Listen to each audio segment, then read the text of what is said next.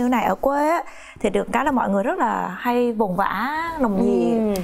uh, hay đến thăm kiểu nói chuyện thì chắc ở đâu này thì ừ. chắc cú nào cũng nghe kiểu vậy. Sản phụ đang cần được nghỉ ngơi. Lúc nào cũng giống như kiểu giữa tiệc uh, chúc mừng ok sinh con rồi kiểu vậy lúc nào cũng như thế. Mình thì mình cũng cố theo kiểu là ok được rồi tại vì nó là cái phòng chung mình không thế này này nọ họ tra được. Bình thường sinh bình thường thì ba ngày là được về rồi. Sinh bố một tuần một tuần cái lúc mà nhìn thấy con để kể ngay mình được đẩy về phòng trước người ta đem con mình đến sau.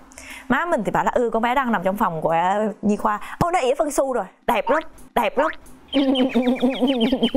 Hồi đấy mình hoàn toàn các bạn còn nhớ là khi mà mình trở thành bà mẹ ngày xưa mình thấy các bà mẹ cứ suốt ngày đi khoe phân con à. mình thấy sao mà kỳ dị cái sở thích gì mà kỳ dị khủng khiếp. Khi mình quay trở về lại cái phòng mà trước khi vào phòng câu đầu tiên má mình khoe là con mình ỉa phân su đẹp lắm khoe phân su trước yeah. xong sau bé bảo kiểu con bé không khóc cười xinh lắm. Ừ. mình bảo ok thôi được rồi. Phải chia đảo hai nội dung đó lại thì đỡ biết bao nhiêu. Đỡ bị sốc. Đỡ sốc văn hóa. Mình về phòng rồi ổn định được cái giường rồi. Cái giường đơn các bạn ạ à, biết giường bệnh rồi mà. Ừ cái giường đơn mà mẹ nằm còn rớt cái đứa đó chuyện thêm đứa bé. thêm đứa bé nữa. Nó không phải đẹp như trong phim kiểu có cái giường đẹp đẽ xong rồi bên này có cái hộp đựng trẻ con kiểu nhìn lộng lẫy kiểu lãng mạn chết đâu. Thôi các bạn đừng mơ mộng kiểu đấy. Cái giường bé tí chắc nó bé được bằng cái bàn này á. Xong rồi hai mẹ con nằm nghiêng. Ừ. kiểu bạn chỉ cần nhích ra cái là mình là gọi là nhà văn thì hơi quá mình chỉ là tác giả thôi mình là tác giả uyên bùi cái hành trình bỉm sữa của chị đã được bắt đầu bằng cái dấu ấn là à mình biết tin mình mang thai rồi. Thì cái thời điểm đó nó như thế nào? Thời điểm đó kỳ cục lắm ngoài ý muốn. Đó. Ngoài ý muốn. Đó. Ủa? ngoài ý muốn. Ngoài ý muốn. Đó. hồi đấy là chị sống chung thôi sống chung với với lại bạn người yêu ấy. Ừ. thế thì bảo là thôi bây giờ bọn mình sống chung với nhau cũng đủ lâu rồi. Giờ chuyển qua kiểu tiến hóa mà chuyển qua cấp độ cao hơn đi. Giờ có đứa, nâng cấp mối quan hệ đúng rồi nâng cấp mối quan hệ. Bây giờ kiểu bây giờ từ level làm kiểu người yêu bây giờ làm bố mẹ đi cho nó vui. À. Thế kiểu ok là bố mẹ. Thế thì bảo là lên kế hoạch nửa năm nữa. chơi game hả? Đúng rồi. Chơi game đúng rồi đấy xong rồi nửa năm nữa có con. À. thì nhẽ ra là đợi nửa năm nữa có con thì lúc đấy mình hãy ngưng uống thuốc tại vì lúc đấy đang uống thuốc tránh thai theo tháng. Ừ. để cho chắc hết ngưng trước thì làm sao biết được tại vì mình được uống thuốc cũng tương đối lâu rồi. Không biết được là mình có thể dính bầu ngay hay không. Chưa kịp tiêm phòng chưa kịp làm gì hết ngưng thuốc. Ngưng thuốc tháng trước tháng sau dính bầu tháng sau dính bầu à cái này giống như chơi game mà bắt được cục kim cương cái nó up level lên luôn vậy đó. Hoạt động hơi mạnh mẽ. Không lại còn lại còn thế này cơ. Năm 2012 á cái năm đấy là con đồng vàng mọi người đi săn rồng. Xong rồi mọi người cũng bảo chị cũng đi chị cũng đi săn rồng kêu không? Chị bị sụp hố. Chị nhớ ngày hôm trước là cái ngày mà biết tiên đã có đầu. À. thì lại là ngày mùng 2 tháng 1 2012 Tại vì ngày hôm trước là ngày mùng 1 tháng 1 2012 Vẫn còn đi ờ, đi ba, ừ. vẫn còn uống cốc theo. Bình thường thì là kỳ kinh nó rất là chuẩn á. Ừ. Thành ra chỉ cần trễ một ngày thôi. Mà bạn biết không cái cảm giác mà kiểu bản năng làm mẹ nó rất là tốt á. Không hiểu tại sao sáng hôm đấy thức dậy rất là sớm ngày hôm trước vẫn còn tung tăng tung tăng mặc váy gắn mang quốc cao thế này. Hôm sau chạy ra hiệu thuốc ừ. mua một cái que quick nhưng cái tín hiệu nào mà chị quyết định đi ra mua que thử? Tại vì hôm trước lúc mà chuẩn bị đi về á ừ. tự nhiên đang đứng nó có cảm giác bồng bềnh. Đúng rồi cái là nó trao đảo một cái giống như kiểu là bạn bị say sóng á. Ừ. nó chỉ có một cái cảm rất là nhanh như thế thôi. Tại vì mình uống nước ngọt tại sao mình say được? Sáng sau mình mới nhận ra là à mình bị trễ cân một ngày rồi. Ờ. thường thường người ta trễ cân một ngày người ta không có có xoắn lên. Bà bồ còn đang ngủ lặng lẽ bò ra ngoài à, pharmacy. Chị chị bán cho em một cái que thử thánh nhanh. Ừ. xong rồi lặng lẽ bò về nhà. Xong rồi lặng lẽ chui vào trong toilet. Xong rồi đến lúc nhìn cái que hai vạch biết cảm giác nào không? Ừ. nó rung như thế này lý do tại sao rung chị? Tại vì không có sẵn sàng cho chuyện đây nó update nhanh quá. Nửa à. năm sau mới có con tại vì lúc đấy mình vẫn chưa sao cho mình còn chưa ừ. tiêm phòng chưa gì cả. Nó giống như kiểu trên trời rớt cái bọt xuống đầu mình á. Xong rồi cầm cái que rung như thế này nè điên không? Mồ hôi nó tứa ra tiêu rồi đấy. Ừ. lúc đấy bạn bồ còn đang ngủ. Nó bảo anh anh mà đứng xa lắm. Cái giường túc bên kia mình đứng túc ở phía bên này. Anh dậy đi. Em có chuyện cần phải nói với anh. Nhưng mà có chuyện gì mới được chứ? Em lại đây. Lại đây đâu mình nói. Không em phải đứng đây em nói. xí xí cho hỏi từ lúc quen nhau đến tại thời điểm đó có bao giờ bắt đầu một cuộc nói chuyện với cái tâm thế chưa, như vậy chưa? chưa đấy là lần đầu tiên Trời, kiểu hèn kiểu, chơi giọng rất ngơ ngác là đúng rồi. kiểu bình thường là muốn nói chuyện gì là sẽ rút rút rút kiểu là à, làm con mèo con rút rút rút xong rồi mới nói chuyện thủ tao gì. Anh ơi em có chuyện nói. Đằng này là mặt rất là nghiêm trọng. Tay cứ giấu đằng sau bà có chuyện gì? Bảo em có chuyện rồi. Xong rồi ông nhìn một hồi ông nhìn chứ. À có con không? Có con không? Ông chưa nhìn luôn ông chưa nhìn thấy luôn. Ông nhìn thấy mặt ông nhìn tay giấu đằng sau đâu không biết rồi hai vạch rồi giờ làm nào? Chị lúc đó chị đang hình dung chị muốn phản ứng của anh người yêu như thế nào với một nhà văn. Chỉ đi ra trước ấy chỉ có cảm giác duy nhất thôi là tay chân run đẩy bẩy xong mồ hôi cứ thế nó tuôn ra tuôn ra mà mình run ấy. Bồ rất tỉnh bơ có con thì nuôi có con thì nuôi ồ rất tỉnh lại đây với anh. Con nhỏ bò tới đúng nghĩa của con mèo. Chứ mình nuôi thiệt hả ừ thì nuôi. Thì đằng nào cũng phải có con con mình mà mình nuôi thôi. Đấy em mới thấy rằng là phản ứng của đàn ông buồn cười lắm cực kỳ dứt khoát cực kỳ nhanh gọn đúng không? Cũng không tại vì nam giới á, không thông thường họ sẽ giải quyết vấn đề dựa trên cái cái chung đi ở cái phổ quát trước. À. cho nên đúng là công thức ủa có con thì sao? Có con thì đẻ đẻ xong thì nuôi. Đó là Đúng cái câu chuyện nó rất chung. Nhưng phụ nữ á mình bỏ qua cái vỏ đó bắt đầu mình rồi có bầu rồi sao? Rồi phá tướng rồi sữa đâu? Rồi ai nuôi nó? Rồi rồi ba nó có thương nó không? Có nghĩa là chúng ta bắt đầu tập trung vào chi tiết và nó À. làm cho phụ nữ trở nên lo lắng và bất an nhiều hơn Dạ. đó trong cái quá trình mà mình mang bầu mình thay đổi như thế nào về cơ thể của mình cũng như là tâm sinh lý chị có thể chia sẻ nhiều hơn không? Có một câu mà kinh điển luôn mà bạn bồ sau này bạn còn nói. Ngày hôm trước còn đi ba quẩy ngày hôm sau đó thành mẹ hiền rồi.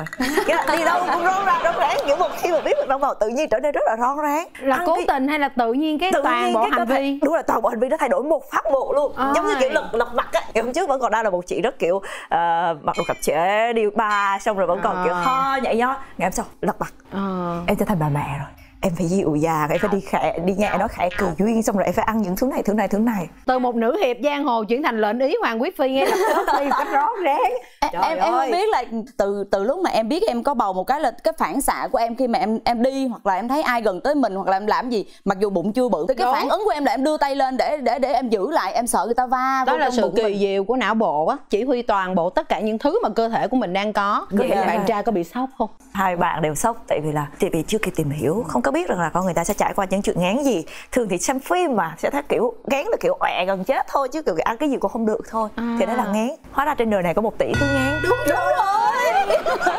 bởi vậy mới phải mời nhiều khách mời tới đây để chúng ta nghe được một tỷ câu chuyện. Rồi. Thế thì mình ngán ngủ. Một ngày có thể ngủ như một con biết con lười không? Biết con slot không? Nó là một cái con có thể nằm cả ngày và nó ngủ thôi.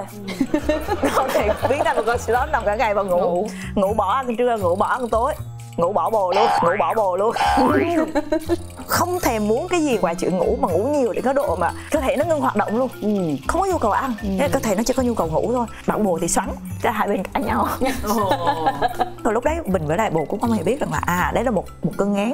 Thật ra mình ngán khác mọi người. Bạn ấy thì lại nghĩ là mình lại không có quan tâm đến cái sự điều độ không ăn bạn uống. ấy thì nghĩ rằng là mình lười quá mức thôi. Là tự nhiên đột nhiên trở nên bị bị ì quá mức. Tại vì Dạ. mình bình thường thì mình rất là là hoạt bát vận động đi tới đi lui làm việc trong nhà đến giờ ăn bạn cũng phải mua đồ ăn về mình mới ăn. Không thôi mình mình lười đến cái độ như thế này cơ. Nhấc cái điện thoại lên gọi cho ship. Tại vì có một cái hàng ăn quen rồi chỉ cần gọi cho người ta người ta đem đến lấy thôi.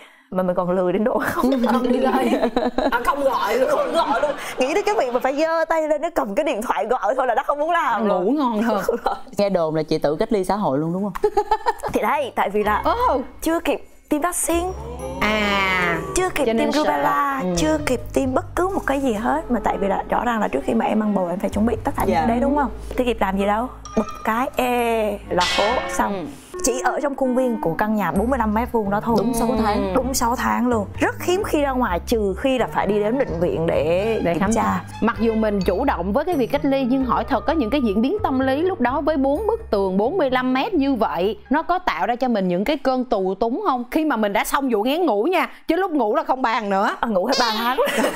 Thế thành ra 3 tháng tiếp theo nó lại cho mình một khoảng thời gian đủ dài. Chính là cái khoảng thời gian mà mình tìm hiểu tất cả mọi thứ về À. chăm sóc em bé khoa học như thế nào dành thời gian để đọc. Em thì nghĩ với tính cách của khách mời của chúng ta ngày hôm nay á, thì rõ ràng là cái chuyện mà cách ly đó là cách ly chủ động và Đúng chị rồi. sẽ tận hưởng cái khoảng thời gian đó một cách tuyệt đối và rất là thoải mái trong cái chuyện cách ly đó. À có một điều vui một thú vui khác nữa mà bây giờ tất cả mọi người trong khoảng thời gian cách ly hay làm shopping. À, shopping online. hồi đấy hồi đấy chưa có mấy các bạn thương mại điện tử như bây giờ đâu. À, hồi đấy phải đi đi mua ở cái trang rất là nổi tiếng của nước ngoài vào chọn một món hàng xong rồi xuống dưới nó có khoảng tầm một nghìn cái review À, đọc một review. nghìn cái review mọi nhận xét nhưng mà hãy đọc cái review mà người ta cho một sao á À. để xem tại sao người ta sao sản phẩm này một sao hai sao hoặc ba sao thế là mình ngồi mình đọc tất cả mọi thứ cho nên thành ra là một cái sản phẩm mình có thể nói được chính xác. Cái sản phẩm này nhược điểm của nó nằm ở đâu? Cái công việc đó là một công việc cực kỳ tao nhã thú vui tao nhã mỗi ngày. Và rất tốn thời gian. Giết thời gian. À, như vậy thì trong cái quá trình thai kỳ của chị là êm ả êm ả không? Có một vụ. Vụ gì? Bổn bổm bồ sốt xuất huyết. Ờ. Bồ bị sốt xuất huyết mình bán có một bầu như thế này. Thế bây giờ làm sao chăm tại vì mình đang cách ly mà. À. bồ tự vác thân vào trong bệnh viện xong rồi trong bệnh viện chán quá bồ vác thân đi về. Bảo cho anh ơi anh lấy cho em lại vác thân vào bệnh viện. Trời. Tự nhiên tôi lại thương ông bồ vậy trời. Đúng là một Ờ. ngàn lẻ một câu chuyện. Hồi đấy ở sài gòn thì không xin. Quê mình ở quê mà ở quảng ngãi. Ừ. mình về là tại vì có một phần là có chị chị bạn thì chị trở thành bác sĩ phụ sản mà phụ trách mổ phẫu thuật ở bệnh viện vác cái bụng bầu ba ba tuần như thế này về đau được một tháng? Bị sận ngứa thai kỳ. Sận ngứa thai kỳ. Lúc đấy mới bị. Đúng rồi còn hai tuần nữa sinh là bắt đầu sận ngứa thai kỳ. Đã hiểu được cảm giác mà con khỉ tại sao nó cứ suốt ngày thế này nó ngứa một cách khủng khiếp mà nó nhưng mà nó ứng lên nào. da chưa hay nó chỉ ngứa thôi nó ngứa tiềm ẩn thôi. Nó ngứa toàn bộ cả cơ thể luôn Ờ. có không có cách nào để dừng được cái cơn ngứa đó thực hết. ra nó là một trong những dấu hiệu của rạn da nữa đó. Ngồi tìm hết tất cả các bí kíp trên đời này làm thế nào để Hết giảm? ngứa. Ờ, để làm hết ngứa. Xong có một câu trả lời duy nhất chẳng có cách nào cả. Chẳng có cách nào cả. Đó đúng rồi. Từ nào là ngâm nước ấm chườm nước lạnh rồi ngâm nước khổ qua cả ngày chui vào trong cái bồn á đổ nước khổ qua vào cho nó mát á. Trời kiểu kinh hoàng lắm tổ chức ghi hình tại California, Hoa Kỳ. Liên lạc ngay với chúng tôi qua fanpage chat với mẹ bỉm sữa hoặc Viber Zalo 0522 961 076. rồi đến ngày đi sinh có lười như vậy không hoành tráng lắm ừ. hôm đấy buổi sáng đẹp trời đi tè tè lúc đấy tầm 5 giờ sáng tè xong ra đi vào leo lên giường xong thấy ướt ướt ờ. Vợ ối rồi. Lúc đấy mà nghĩ được vợ ối thì đã thông minh. À. Lúc đấy như thế này. Mình bị tè xón mình bị tè dầm cảm giác hoài nghi bản thân nó hay với bản thân. Ủa, ủa, bầu thôi mà ủa, sao kỳ vậy? Bảo chứ ủa sao tự nhiên cái mình bị tè dầm sờ sờ sờ sờ. Đi vào toilet tiếp xong rồi lại đi ra. Mình cũng chẳng nghĩ gì xong rồi tại vì là nó không đau không cơ gò giả không có một cái dấu hiệu gì cả. Mình đứng mình nghĩ một hồi. Đúng cảm giác đứng giữa đứng giữa nhà như thế này. Ừ. xong rồi lúc năm năm giờ sáng cứ nghĩ đi nghĩ lại. Bảo cho chuyện gì xảy ra chuyện gì xảy ra như thế này. Quyết định vào cái cửa phòng. Má má con vợ ối. Rồi Ồ, má má con vợ ối. Xong À, rồi lúc đó là thông minh rồi đó. Lúc đấy là đã bắt đầu đã bắt đầu hoạt động trở lại. Không ngay từ chỗ của chị Uyên mình muốn nói một điều như thế nè. Tại vì Uyên nghĩ là phải có gò nè rồi phải rồi. phải phải phải râm phải đau, ran đúng rồi các kiểu. Tôi bị vợ ối ngay tại hội trường đại học kinh tế luật. Vì sao? Vì mẹ ruột của tôi thêm một bác hàng xóm nhiệt tình của nhà tôi luôn khăng khăng rằng nước ối nó màu hồng. Nó- dạ, dạ, nước ối nó phải là màu Tại hồng vì là hoặc là nó tái tái hồng. Ờ. nhưng kính thưa quý vị từ 7 giờ tối hôm trước thực ra tôi đã rỉ ối nhưng nó không có hồng. Nó màu trắng. Dạ. và tôi nghĩ rằng chắc sớm thôi. Sáng hôm sau tôi vẫn xách đít đi dạy mà. Và đó là lý do mà khi mà tôi làm một cái xà nó ướt hết cái sàn thì tôi nói này là ối rồi nè. Giờ nó màu gì thì tôi không cần biết. Phải chi mà mọi người đừng có cam đoan cái vụ Đúng nước ối màu hồng tôi đâu có đi dạy vào sáng hôm đó làm chi. Đúng để đỡ quê. Đúng rồi. Rồi sao rồi lúc đó má tin không? Thế là má thức dậy đập đập đập đập đập ba dậy. À, đó, đó, đó, đi đẻ đi đẻ. Rồi đã để dưới đã để dưới đẻ? anh vậy đi đẻ. Bà má kêu không ba. Dạ, đi đẻ. Vui bà bực dậy. Xong xong, xong qua điện thoại. Xe vào đó vào phòng xanh như người ta nói chung là cũng khá là bình thường. Cũng chưa đến nỗi từ đó mới là vấn đề. Chưa đến nỗi thì bắt đầu từ đây mới ra ra nông nổi nè đúng từ đây mới là ra đông nổi này nó giống y chang cái ngày hôm nay mặc bộ đồ lộng lẫy như thế này này xong rồi vào đây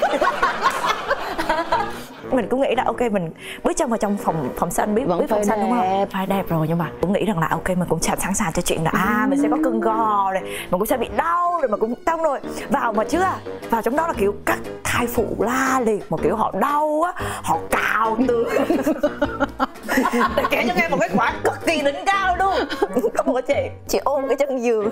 Chị cứ thắt cái chân giường. Bảo chứ anh ơi anh ơi lúc đó là tội của những ông chồng được hài ra đầy đủ. Có một chị còn đỉnh cao hơn. Biết là cái cửa. Chị bám.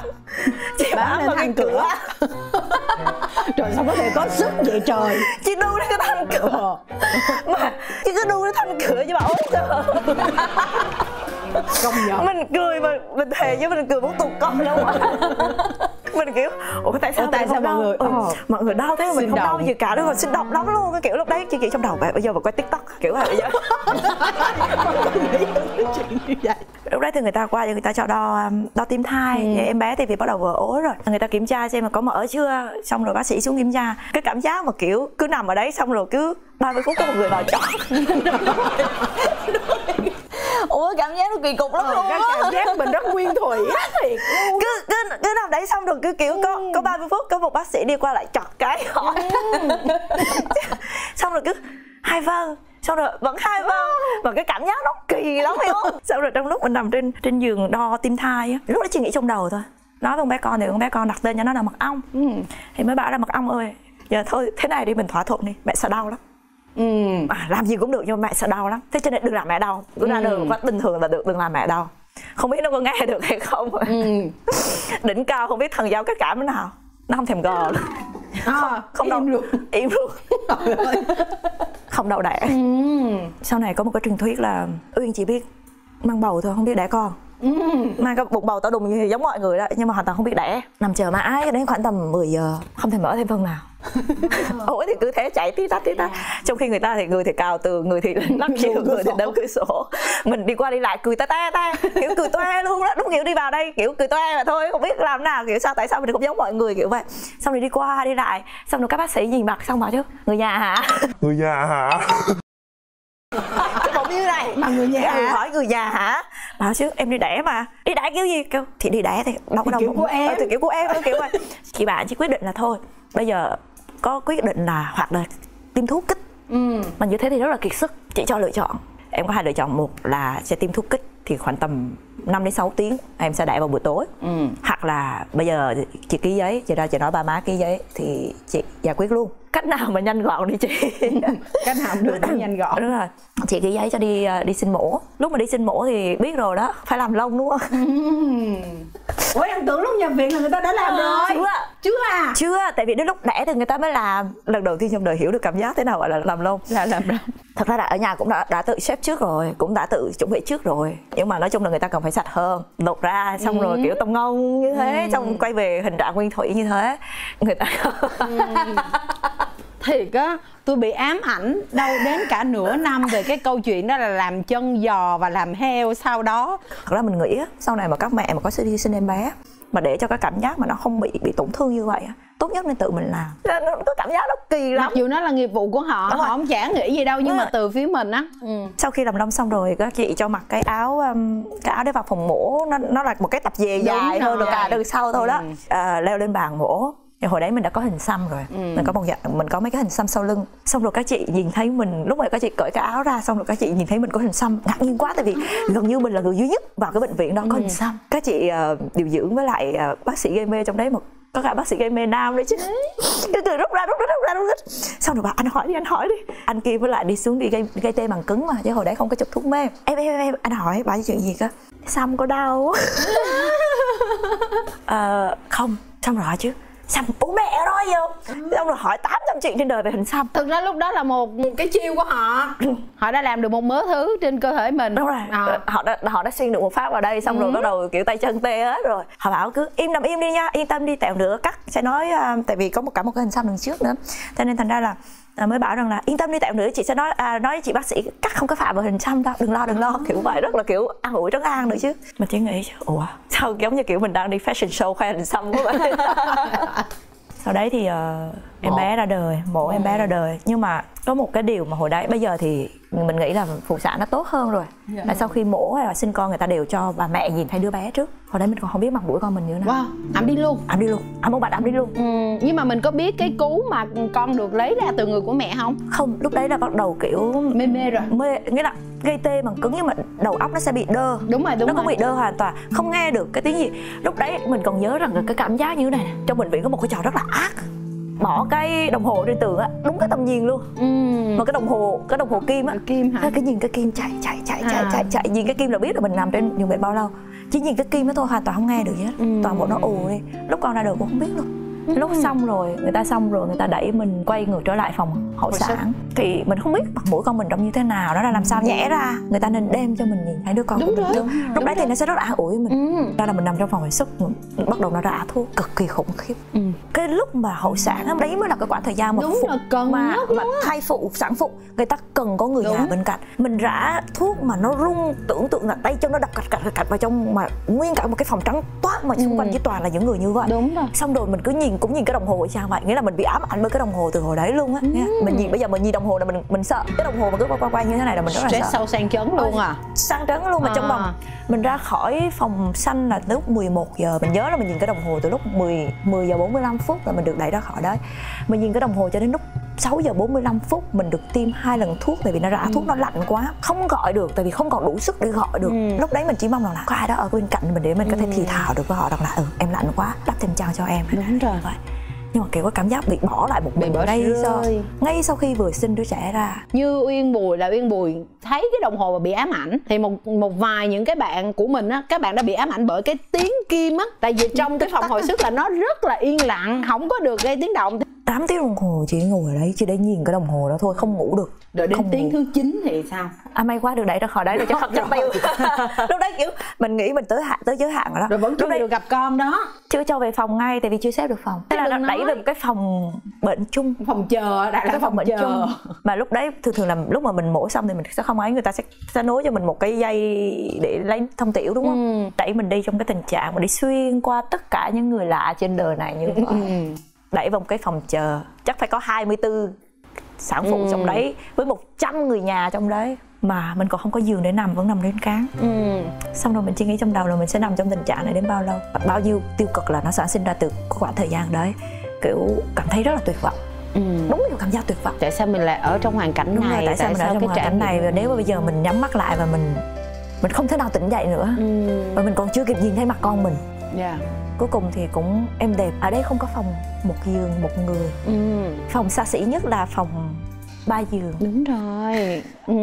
ở Sài Gòn không tôi xanh nãy cho nên nãy giờ tôi cứ thắc mắc là ta nói coi như là lượt ngược đường ngược gió để làm chi? Xong rồi vào cái phòng ba giường được 12 mét vuông. Sắp ba cái giường. Như cá mòi kề nhau. Đúng rồi kề nhau. Nhưng mà được cái như thế này ở quê á, thì được cái là mọi người rất là hay vùng vã nồng nhiệt ờ, hay đến thăm. Kiểu nói chuyện thì chắc ở đâu này thì chắc cú lại cũng nghe kiểu vậy sản phụ đang cần được nghỉ ngơi. Lúc nào cũng giống như kiểu giữa tiệc à, chúc mừng ok sinh con rồi kiểu vậy lúc nào cũng như thế.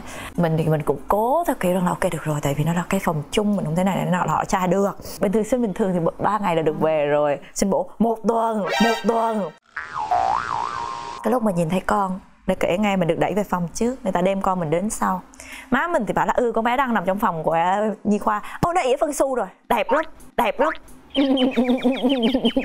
hồi đấy mình hoàn toàn các bạn còn nhớ là khi mà mình trở thành bà mẹ ngày xưa mình thấy các bà mẹ cứ suốt ngày đi khoe phân con? À. mình thấy sao mà kỳ dị cái sở thích gì mà kỳ dị khủng khiếp khi mình quay trở về lại cái phòng mà trước khi vào phòng câu đầu tiên má mình khoe là con mình ỉa phân su đẹp lắm đầu tiên là khoe phân su trước Yeah. xong sau bé bảo kêu con bé không khóc cười xinh lắm. Mình bảo ok thôi được rồi. Phải chia đảo hai nội dung đó lại thì đỡ biết bao nhiêu. Đỡ bị sốc đại sốc văn hóa. Mình về phòng rồi ổn định được cái giường rồi. Cái giường đơn các bạn ạ biết giường bệnh rồi mà. Cái giường đơn mà mẹ nằm còn rớt cái đứa đó là chuyện. à. thêm đứa bé thêm đứa bé nữa. Nó không phải đẹp như trong phim kiểu có cái giường đẹp đẽ xong rồi bên này có cái hộp đựng trẻ con kiểu nhìn lộng lẫy kiểu lãng mạn chết đâu. Thôi các bạn đừng mơ mộng kiểu đấy. Cái giường bé tí chắc nó bé được bằng cái bàn này á. Xong rồi hai mẹ con nằm nghiêng. Kiểu bạn chỉ cần nhích ra một cái là rớt khỏi giường á. Ủa, kiểu cái vậy. cảm giác sinh mổ mà nằm nghiêng wow wow nguyên combo luôn. Đúng là nguyên combo luôn đó lần đầu tiên mà nhìn thấy con lúc mà má đặt con bé con xuống. Đã là lạc lạc lạc. Đầu tiên là lần đầu tiên là có nhìn thấy con là nghĩ gì? Không bà này đừng hỏi bà con bà 4 kg ừ con em 4 kg nó căng lắm da nó căng cho nên em thấy nó đẹp lắm. À thì à? Dạ. em hai đứa cho nên cảm giác nào cũng có đủ hết rồi. Bây giờ uyên nói đi. Uyên câu đầu tiên nhìn thấy con bé con là bảo chứ ơ không phải tốn tiền gọt cầm rồi cầm nhọn hả? Nhọn. Không hiểu tại sao đấy là cái suy nghĩ đầu tiên nhảy vào trong đầu luôn. Không phải tốn tiền gọt cầm Ê, bà này bà tập trung vô cái trend nhan sắc ghê ha. Lại là một câu chuyện khác. Nó không giống ai hết chị ơi. rồi không có hành trình nào giống hành trình nào hết á.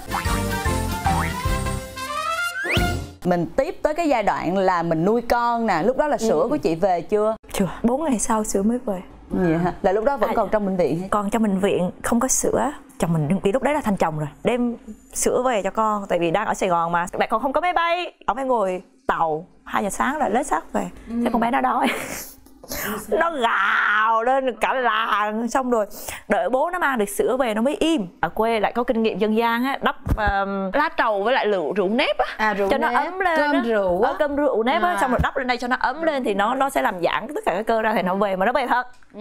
đắp xong rồi nó căng ra xong rồi đến lúc mà nó về rồi á bú không kịp À. tắt sữa nó sốt. ồ. ba ơi mình là còn bị chữa ngực nữa chứ. Nghĩa là cái bụng thì bé tí thế này người thì bé tí thế này. Ừ, người to. Sinh con ra con 2 tháng rồi đầu con bé hơn ngực mình.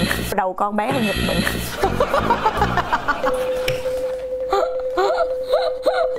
Lúc đó đó là số đo là phải tính đơn vị bằng mét.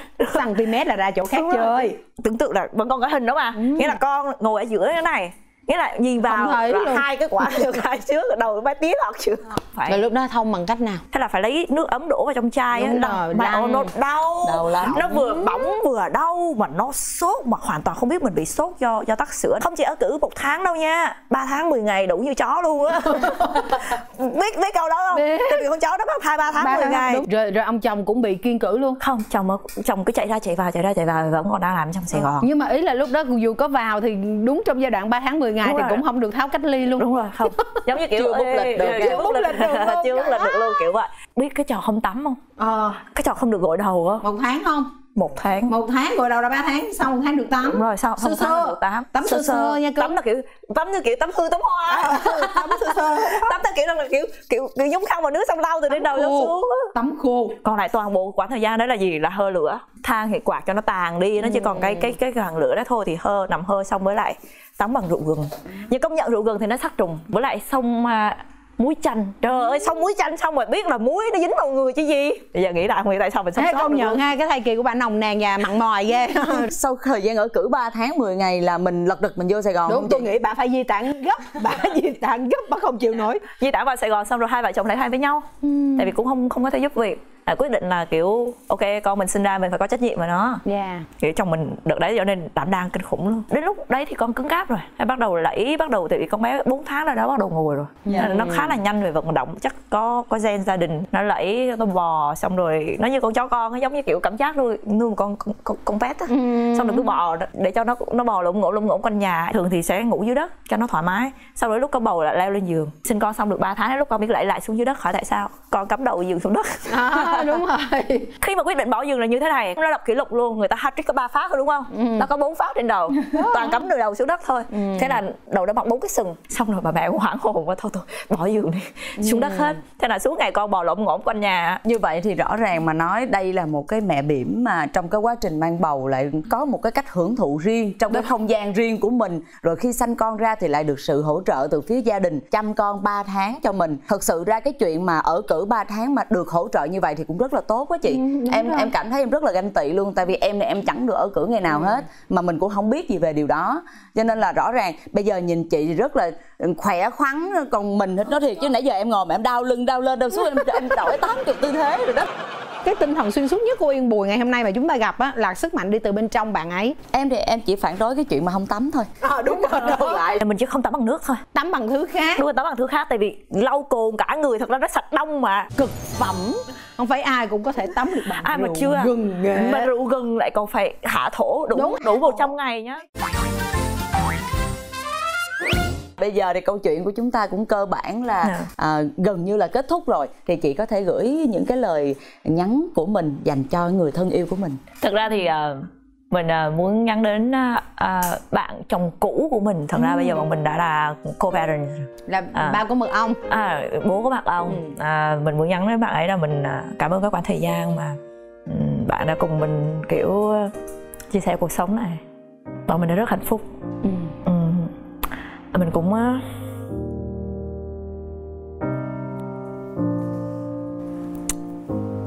anh đã hy sinh rất là nhiều thời gian à, từ làm việc full time để trở thành à, freelancer. Ừ. để à, có thể dành thời gian cho cho hai mẹ con mình. Cái khoảng thời gian mà mình à, mình bắt đầu trở thành tác giả bắt đầu được nhiều người biết đến rồi đi ghi hình liên tục cái khoảng thời gian nó khá là áp lực. À, nó gần như thay mình trong việc à, chơi với con dạy con cùng con lớn.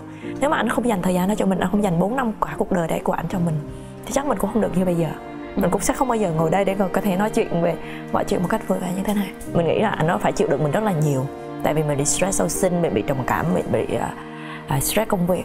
À, có thể nói ra là trong khoảng thời gian đấy là khoảng thời gian rất là khó khăn. Mình rất là ghét nói câu nếu như tại vì bất cứ một cái cái sự đổ vỡ nào hay là một cái sự kiện nào xảy ra trong đời mình thì nó cũng sẽ là cái cơ hội để cho mình học để mình lớn lên và mình thích nghi. Thì uh, mình chỉ muốn cảm ơn anh đã dành khoảng thời gian đấy cho mình cảm ơn chị. Cảm ơn câu chuyện của chị ờ, mang đến cho chương trình ngày.